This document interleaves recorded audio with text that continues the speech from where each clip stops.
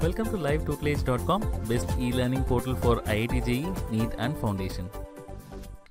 The average marks in this year's class 12 results of Central Board of Secondary Education CBSE schools are likely to decrease by up to 10% following the board's decision not to moderate or standardize CBSE's terms for inflating marks. This follows a resolution adopted at a meeting of school boards called by CBSE on April 24 not to increase marks through moderation. The meeting was also attended by Anil Swarup, Secretary of School Education in the HRD Ministry. The board has adopted the consensus on the issue of moderation of marks. This is expected to result in a drop in marks scored as well as a marginal dip in the pass percentage. This is likely to be the trend across boards, said a senior CBSE official. Another official said the drop in average marks could be different for different subjects.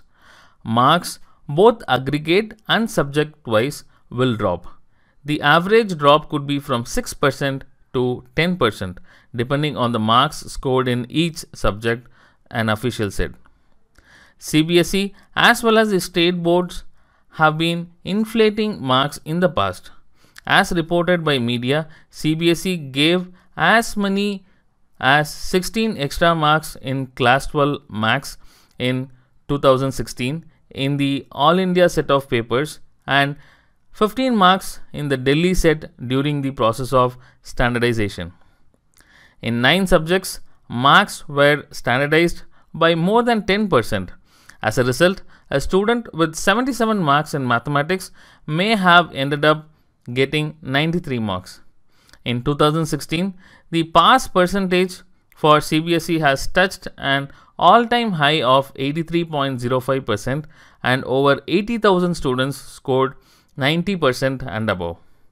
While moderation of marks has always existed to even out different levels of difficulty and other factors in an exam of such huge scale, sources said the exercise was conducted judicially in the past.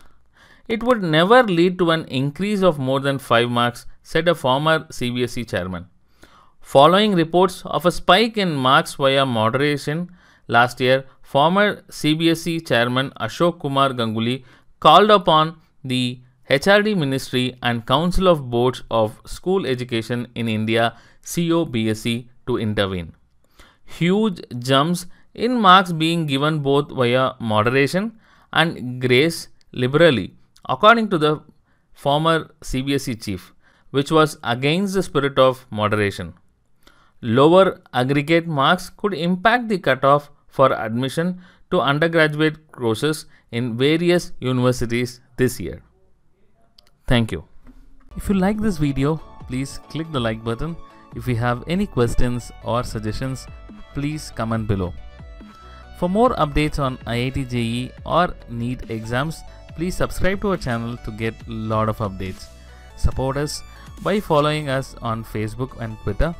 To sharpen your skills, please try out our test series on livetutelage.com.